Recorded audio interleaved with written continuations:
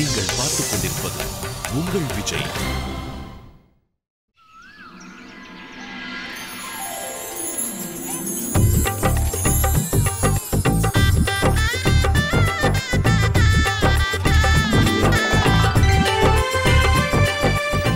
அண்ணா அண்ணா இங்கதான். வண்டி நிறுத்துங்க.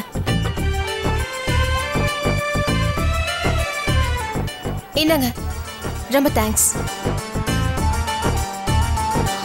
அக்கா எனக்கு ரொம்ப பசிக்குதுக்கா. ஏதாவது சாப்பிடலாமாக்கா? இல்ல வேண்டாம். ஒரே ஒரு ஜிலேபி? வாய முடி ஸ்ருதி. வா போலாம். ஆனா அக்கா எனக்கு ரொம்ப பசிக்குது. அப்போ மொத்தமா ராத்திரி எல்லாமே சாப்பிடு. அங்க போய் பார்க்கலாம். ம். இதுல பூஜை சாமான்லாம் வச்சு கொடுங்க. சரிம்மா. அந்த நோம்பு கயிறும் கொடுங்க. அதுவா? இந்தாங்கம்மா. இந்தாங்க. ரெண்டாவது தட்டை தயார் பண்ண அஞ்சு நிமிஷம் ஆகும். நோன்பு கயிறு தீர்ந்துடுச்சு நான் போய் கொண்டு வரேம்மா. சரி. அக்கா நீங்க போய் வேண்டுதல் மரத்துக்கிட்ட வேண்டிக்கோங்க. நான் வரேன். இல்ல ஸ்ருதி. நானும் உன் கூட சேர்ந்து இங்கே காத்துட்டு இருக்கேன் இல்ல நீங்க போங்கக்கா. நான் ரெண்டு நிமிஷத்துல வந்துடுறேன். பார்த்து வரணும். சீக்கிரம் வந்துரு.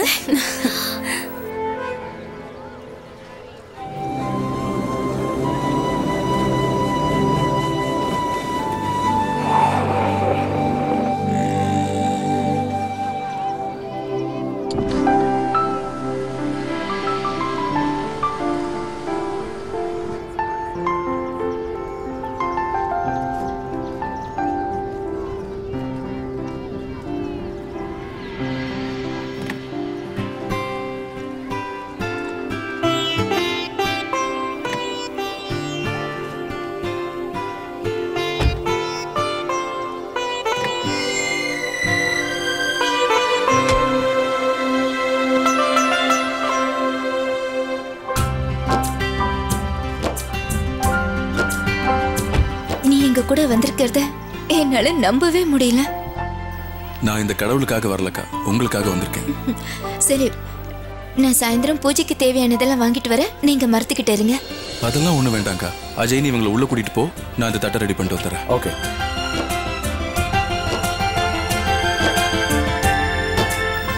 அ, சின்னா? ஆ? கயிறு வாங்க மறக்காத. வாங்க. இப்படி போலாம்.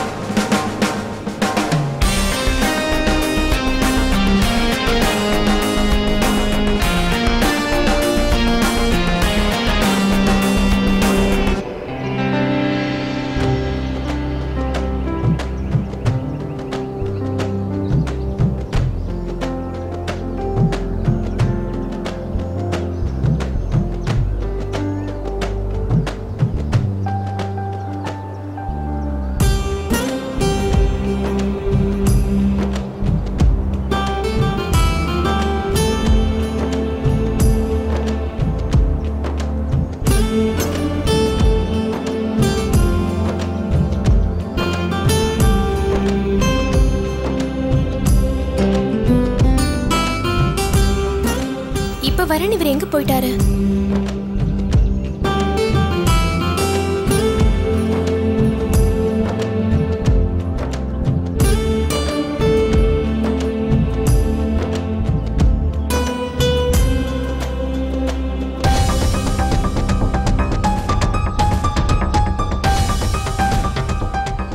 ரொம்ப நன்றி.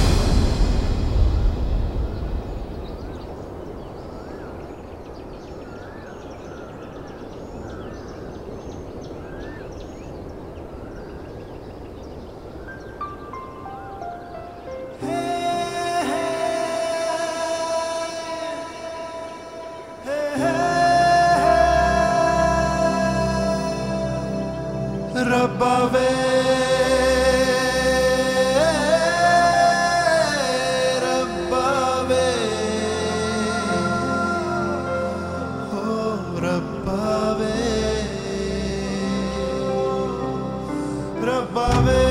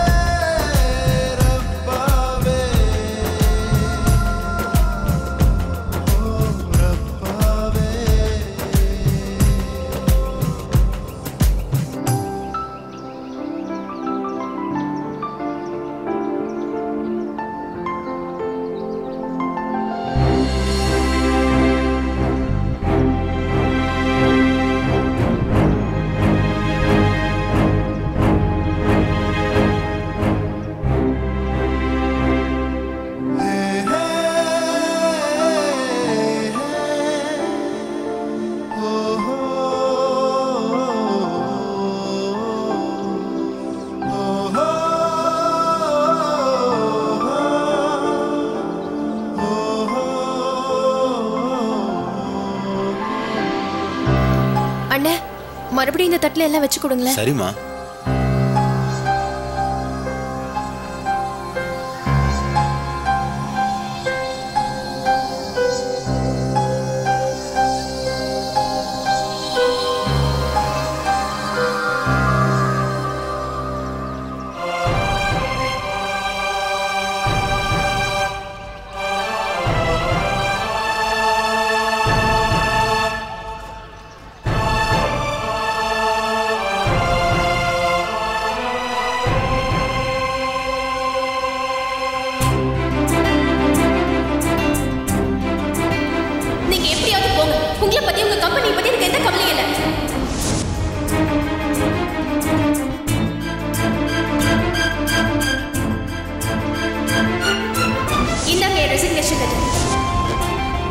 இந்தாங்கம்மா அன்னைக்கு நீங்க வீட்டுக்கு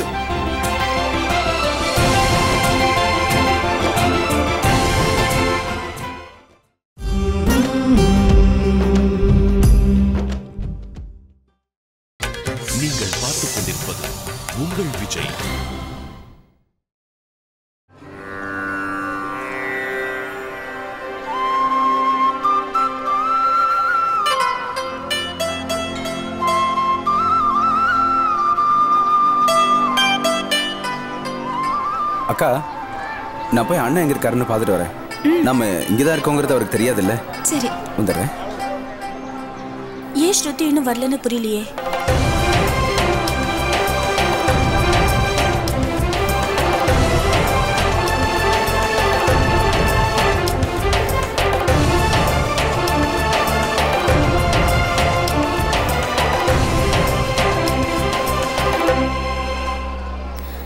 ஸ்ருதி? ஆமா என்னாச்சு உனக்கு? எனக்கு ஒன்றும் ஆகலக்கா. வாங்க போய் பூஜை செய்யலாம். சரி வா.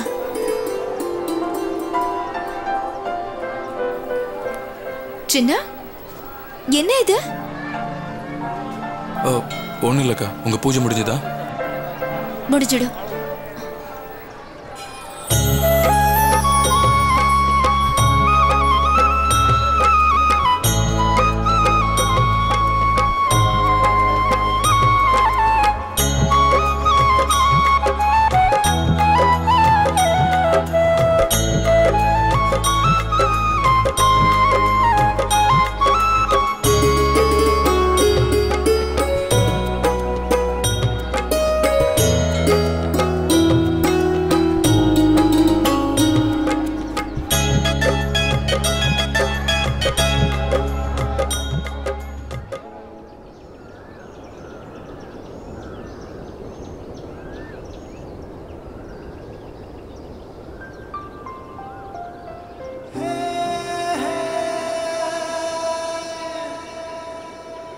Hey.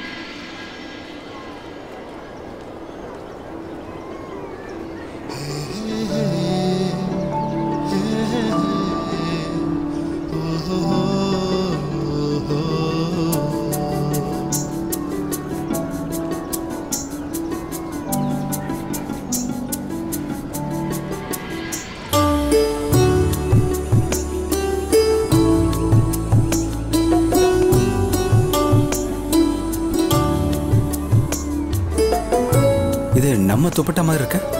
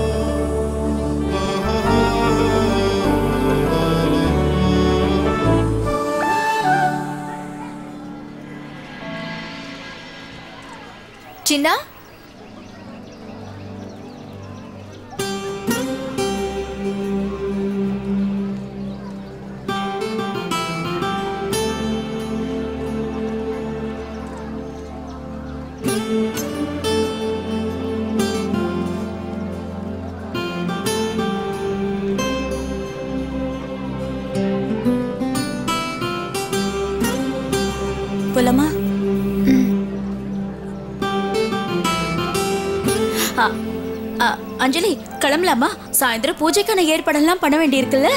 கிளம்பலாம் அத்தை. வாங்க. இதை கொஞ்சம் பிடிப்பா? ஸ்ருதி?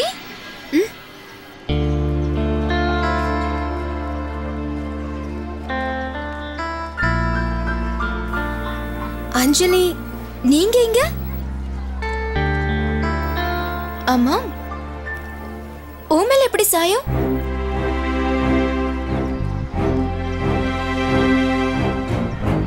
நீங்க ரெண்டு பேரும் மறுபடியும் சண்டை ஒன்றும் போட்டுக்கலையே.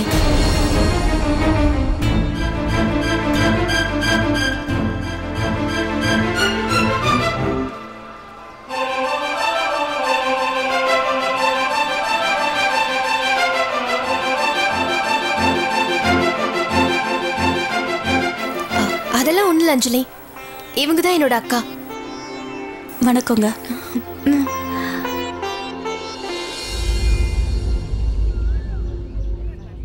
அஜய் சார் நீங்க அது வந்து என் புள்ள இங்க இல்லாம வேற எங்க இருப்பான்?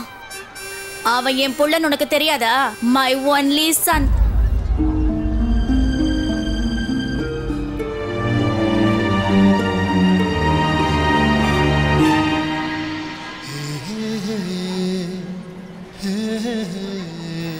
நான் உங்ககிட்ட ஒரு தடவை ஃபோன்ல பேசியிருக்கேன். அன்னைக்கு அப்படி பேசினதுக்கு சாரி ஸ்ருதி வர்றதுக்கு ரொம்ப லேட் ஆயிடுச்சா? அதான் நான் கொஞ்சம் டென்ஷனா பேசிட்டேன். ஹலோ ஹாய் பாய் பாய் அன்னைக்கு எங்க வீட்டுக்கு ஃபோன் பண்ணது நீதானா? அப்செட்டா பேசுனியே. டென்ஷனா இருக்கும்போது மரியாதையை கூட மறந்துடுவீங்களா?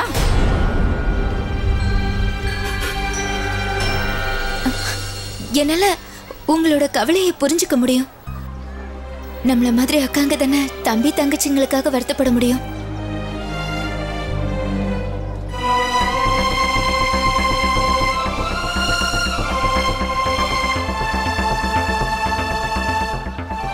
ஆனா நீங்க நீங்க ஸ்ருதியை நினைச்சு கவலைப்பட வேண்டிய அவசியமே இல்லை. ஸ்ருதி ரொம்ப தைரியமான பொண்ணு. அவங்கள அவங்க பத்திரமா பார்த்துப்பாங்க. இல்லை?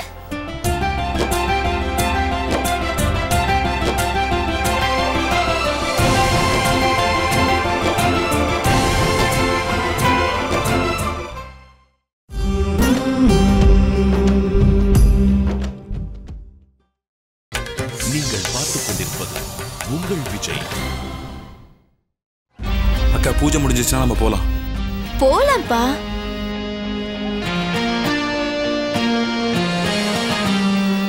சரி நாங்க கிளம்புறோம்.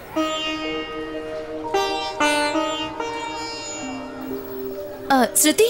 ஆ. வீட்டுக்கு போனதுக்கு அப்புறம் கடலை மாவு தடவு. இந்த கரையெல்லாம் போயிடும். அதெல்லாம் இருக்கட்டும். சாயந்தரம் விரதத்தை முடிக்க எந்த கோயிலுக்கு போறீங்க? அது அத்தை இங்க ரெண்டு பேரையும் பவானி அம்மன் கோயிலுக்கு தான் போகணும்னு சொன்னாங்க. அப்படியா? நாங்களும் அங்கதான் போறோம்.